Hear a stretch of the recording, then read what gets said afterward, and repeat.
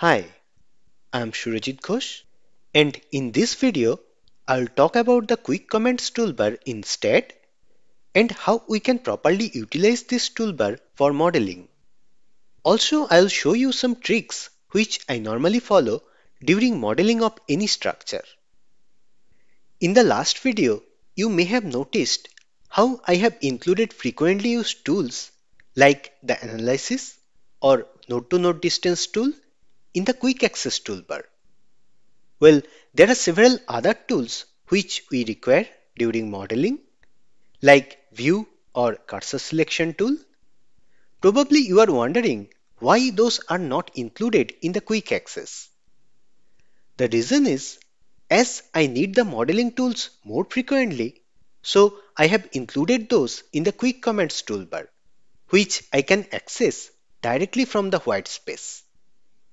In the Connect Edition analytical mode, if you press the space key, then a floating toolbar appears. This is known as the Quick Commands toolbar.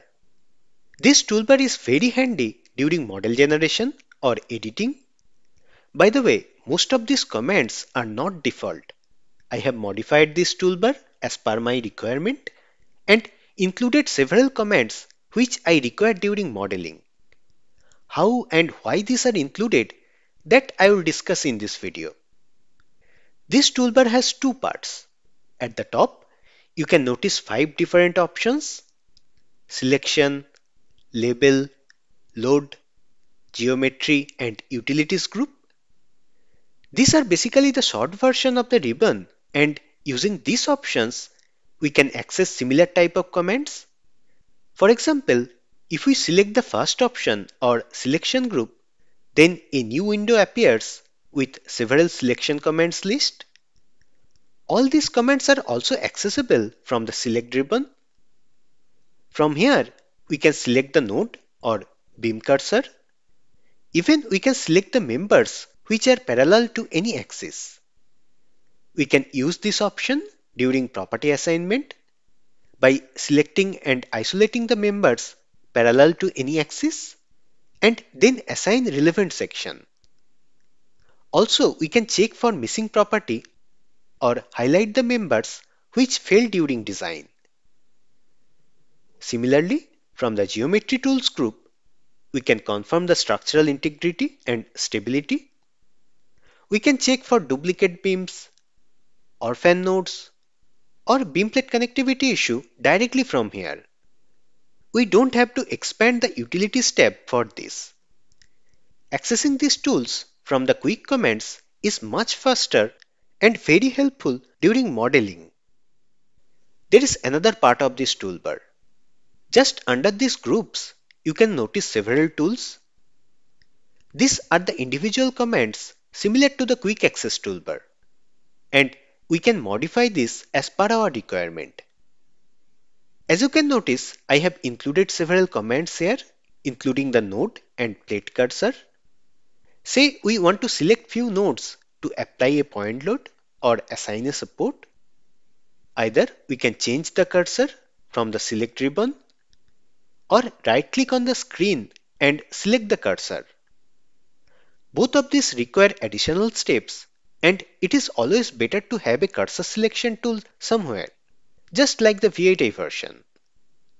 If we add this in the quick access toolbar, then during modeling, we have to move the cursor to the top corner.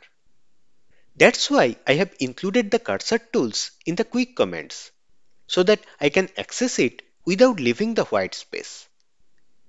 My suggestion is add the frequently used modeling tools in the quick commands which we can access instantly with minimum mouse movement and add less frequent tools like analysis or output tools in the quick access toolbar.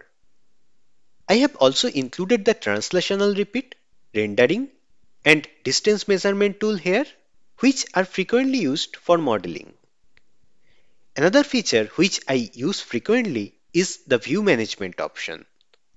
Say we want to edit a property or add a load at the sixth floor level of this structure. We can select and isolate this floor easily and then using the Save View option, Store this floor in the memory. Provide any suitable name. Next time when we require to isolate this floor, we don't have to repeat these steps again. Rather, using the Open View option, we can simply select the floor and see 6th floor level is now isolated using a single click.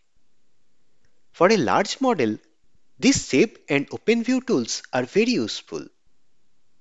I have also created several OpenSTAAD codes for custom action, which I can access easily from the quick commands.